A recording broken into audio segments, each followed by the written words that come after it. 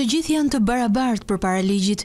Këtë e di mirë kryeministrja norvegjeze Erna Solberg, e cila u gjobit nga policia për shkelje të rregullave të distancimit social, pasi organizoi një festë familjare me rastin e ditëlindjes së saj.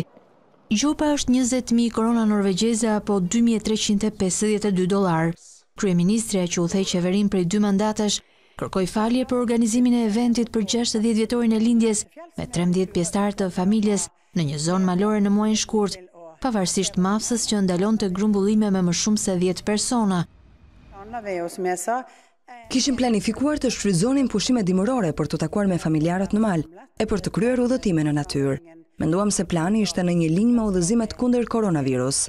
Darka u organizua në një restorant të hapur për të gjithë, ku prenotuam tre tavolina të ndara. U ulëm atje në përputhje me rregullat e distancimit social dhe siç e kam thënë edhe më herët, kërkoj falje që nuk e kuptova në atë kohë, se sipas ligjit, ky konsiderohej një grumbullim.